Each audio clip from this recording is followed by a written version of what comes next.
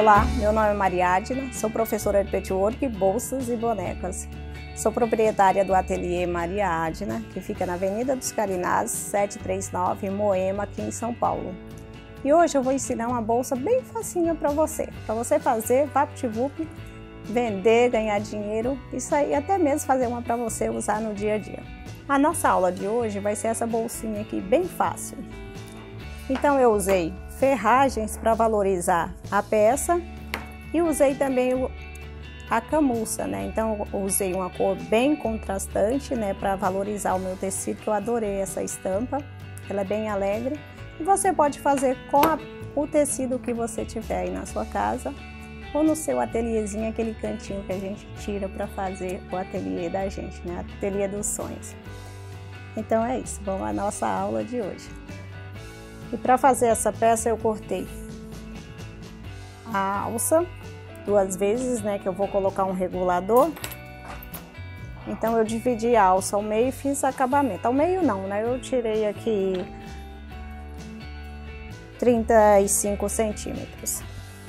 E essa tem 75. Tenho duas alcinhas para eu colocar nas laterais e duas argolas e vou colocar zíper também. Então essa peça é bem fácil, é uma bolsa para usar no dia a dia. Aqui eu vou fazer um bolso na frente. Então eu tenho aqui esse tecido que eu cortei para o bolso. E nesse tecido do bolso, eu vou colocar forro. E nesse daqui eu vou colocar um tecidinho menor do que esse daqui. Então, este eu vou costurar direito com direito, vou passar uma costura para eu unir, para eu formar aqui o corpo da bolsa. Aqui eu não falei, esse daqui é o feltro estruturado grosso e esse tecido azul é o velboa. Então eu coloquei o azul marinho para eu fazer direito com esse, cada um para frente. E aqui eu vou preparar um bolso que vem aqui na frente. Agora eu vou preparar o bolso. Vou costurar também direito com direito. E aqui eu fiz um pequeno pé de galinha. Então vou também passar uma costurinha.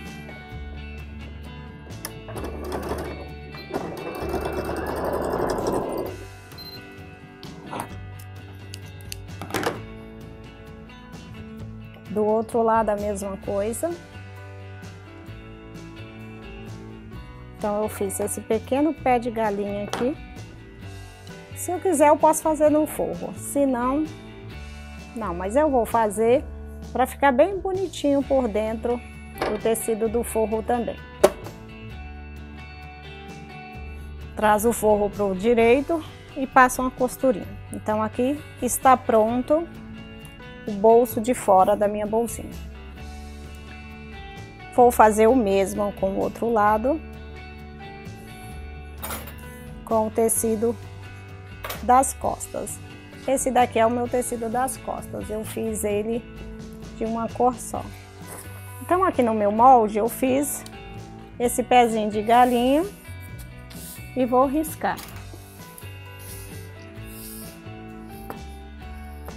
Quando eu fiz aquela costurinha, eu já tinha riscado no meu tecido do corpo. Então eu vou riscar nesse também, para não correr o risco de ficar diferente. Para quando eu fechar esse bolso aqui, essa costura encontrar. Então, vou trazer direito com direito. Aí o que eu tenho que fazer? Eu tenho que colocar um alfinete em cima do risco e sair do outro lado transfiro o alfinete para outro lado e vou fazer uma costura aqui em cima. Vou fazer a mesma coisa com o outro lado. Agora eu vou fazer a mesma costurinha que eu fiz com a parte da frente que vai ser o bolso. Agora aqui eu vou marcar o meio e vou fazer um pique. Do outro lado a mesma coisa, meio e um pique. Então está pronto esse lado. Agora vamos para a parte do zíper.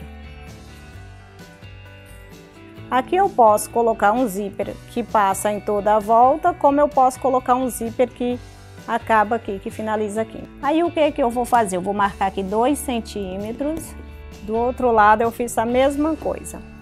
Aqui eu vou tirar um zíper um pouco maior e vou marcar o meio. Só que aqui eu não preciso marcar meio. Se eu marcar o meio do zíper e meio do tecido, esse meio e meio com este acabamento aqui.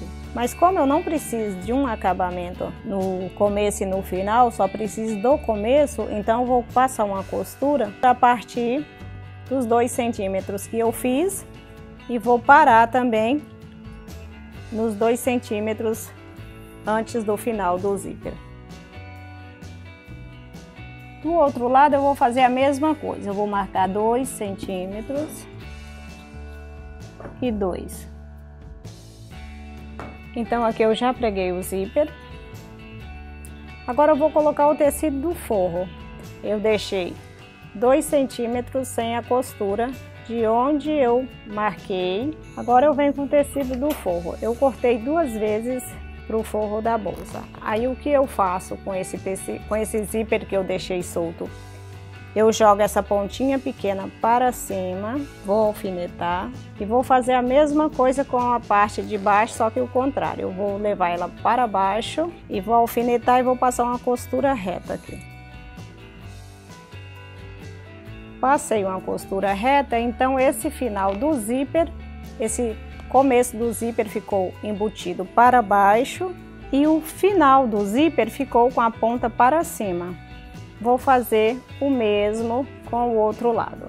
O pedacinho que ficou no começo do zíper vem para, para fora dos dois tecidos. Então, coloquei ele para cima da boca da bolsa. A pontinha ficou virada para cima. E eu vou prender com alfinete para quando eu passar a costura ele não correr, ficar diferente do outro lado. E aqui eu vou passar uma costura novamente, como eu fiz do outro lado, em seguida eu já posso pespontar ou pespontar no final. Então aqui na minha bolsinha já está pronto o forro, o corpo, a parte de trás e a parte da frente. Já tem forro nos três. Agora eu venho com bolsinho. Esse bolso eu vou encaixar aqui dentro. Então esse tecido do forro vai fazer parte da frente da bolsa. Então o que eu vou fechar? Eu só vou fechar esses dois e vou deixar esse para trás, este com este, porque esse aqui é o tecido do corpo. Esse sem o, o feltrinho grosso faz parte do corpo da bolsa, a parte da frente. Aí o que eu faço? Meio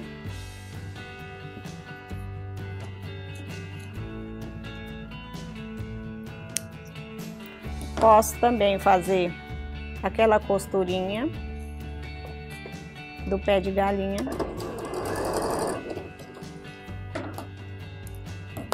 Do outro lado.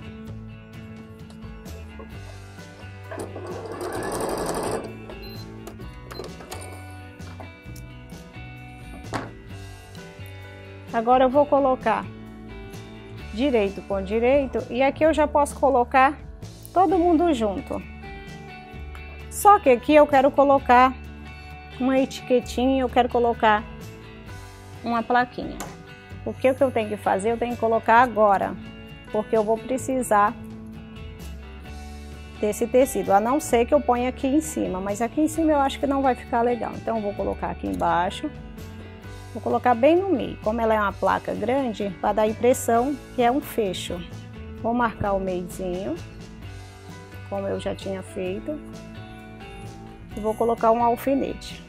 Então, vou colocar mais um pouco mais acima, para dar a impressão que eu tenho um fecho nessa bolsa. Então, eu corto os dois, as duas peças, o feltro estruturado com o tecido e encaixo essa pecinha. Então, aqui só abrir. E aqui a plaquinha já está prontinha. Então o tecido do forro vai cobrir. Se você não quer que essa placa, esse metal fica em contato com o seu tecido, você pode colocar aqui uma proteção. Assim ela não vai esfregar o tecido com o tempo, né? Se começa a esfregar muito a mão aqui, do que você vai usar o bolso, vai marcando o tecido do forro. Então você pode proteger o tecido do forro com outro tecidinho. Agora que eu vou costurar o bolso, vou tirar o alfinete e vou prender essas três peças. Mas se eu falar, eu tô com tempo esgotado, né? Preciso ser mais rápida com essas peças, porque essa peça é uma peça de encomenda. Então, o que, que eu já posso fazer? Vou alfinetar todo mundo junto, vou transferir esses alfinetes que eu coloquei por dentro, eu vou tirar e vou colocar no avesso, lembrando de encontrar sempre as costuras, tem mais alfinete. Por que tirar os alfinetes? Para quando você fechar a bolsa que desvirar, você não se furar. Aqui também, então vou alfinetar em toda a volta. E vou fazer a mesma coisa com o tecido do forro. Aqui o que eu quero, o alfinete. Aqui como eu quero o zíper com essa ponta para fora e eu preciso que a ponta fica para fora, então eu levo as duas pontas do zíper para dentro. E vou fechar também esse tecido do forro, tudo junto e vou deixar uma abertura na lateral para eu poder desvirar, na lateral do tecido do forro. Ou no fundo, onde você quiser deixar, você pode deixar.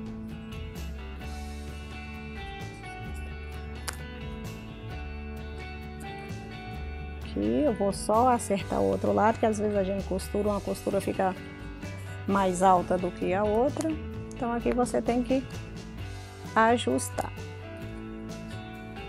Prontinho, agora eu vou costurar em toda a volta e vou deixar uma abertura do tecido do forro para eu poder desvirar. E em seguida eu já ponho a alça. Então aqui eu fechei em toda a volta, fechei o corpo do forro também, tá vendo que ela é bem facinho? Agora aqui é só desvirar. Ela tá bem encorpada que eu coloquei no feltro estruturado grosso, mas se você não tiver o feltro grosso, pode usar o feltrinho branco também. Não vai ficar tão estruturada, mas vai ficar boa também. Agora aqui, falou, mas fiz o um negócio erradão. Aqui, aqui eu vou desvirar novamente o bolso. Pronto. Trouxe o bolso pro local dele.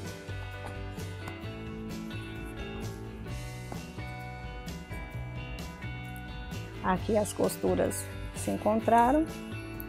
Vou levar o tecido do forro para dentro.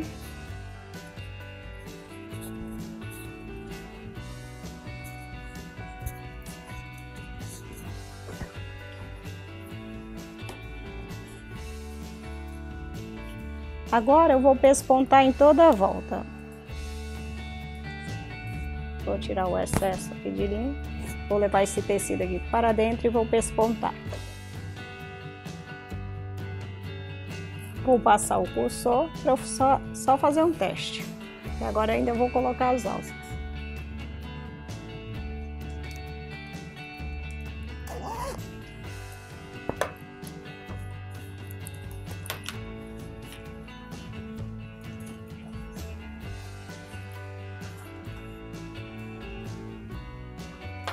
Achei que a minha peça está boa, eu vou colocar as alças.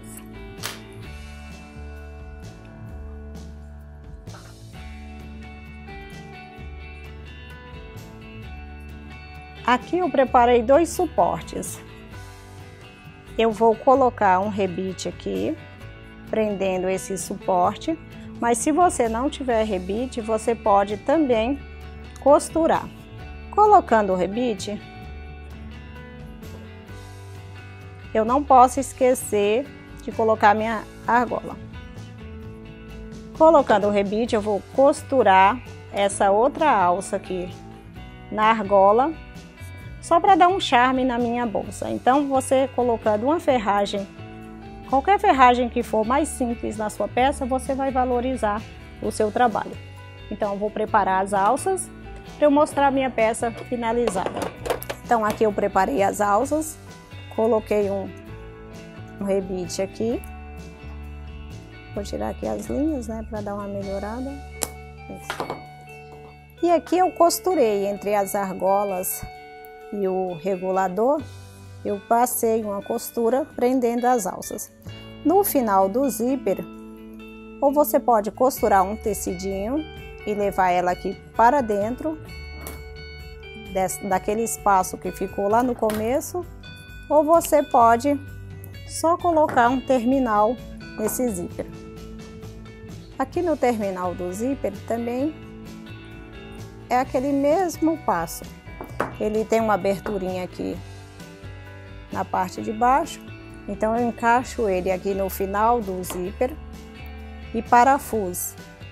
Ele vem um parafusinho que você põe e aperta com a chave, com aquela chavinha Allen. Aqui eu levo lá para dentro. E aqui a minha bolsa está prontinha. A ideia de fazer essa emenda na alça, que o tecido importado ele só tem 1,10 de largura. Então, se você precisa de uma alça, você só tem o tecido a conta de fazer a bolsa, mas não dá para tirar a alça, você faz esse passo aqui. Ou você pode costurar ela diretamente aqui nas laterais e usar esse quadrado aqui do, do regulador para aumentar a alça. Então você corta o tecido ao meio, usa dois pedaços, né, para fazer a sua alça e faz uma alcinha assim que vai ficar bem engraçadinha, né? E você vai valorizar a peça colocando a ferragem. Então é isso. A aula de hoje é essa bolsa super fácil e se você gostou dessa ou de outras peças, é só se inscrever aqui no meu curso de bolsas. O telefone é 9 96728865 e você pode se inscrever pelo WhatsApp, mandar mensagem, mandar mensagens para você ter todas as informações sobre o curso ou até mesmo projetos. E o telefone do ateliê é o 11 5042 0145. E para você que mora fora de São Paulo e quer fazer o curso de bolsas, é só mandar uma mensagem falando qual o projeto que você quer adquirir, que aqui no ateliê temos todos os projetos dos vídeos do canal do YouTube à venda. Então, se você quer fazer uma bolsa porta-marmita, tem o projeto. Se você quer fazer uma sacola para o dia a dia, tem o projeto. Uma bolsa mais requitada, que tenha vivo, alças e ferragens, tenho, peça, tenho todos esses projetos aqui no ateliê. Tem também as mochilas para época de escola, né, que a gente tá que tem filho na escola começa a ficar desesperado com o material escolar e também as mochilas, né? Então tem o projetinho que você vai poder confeccionar não só para o seu filho, como para o sobrinho e até mesmo vender e aumentar a sua renda. Então, é só ligar e adquirir o seu. Um beijo, estou te esperando.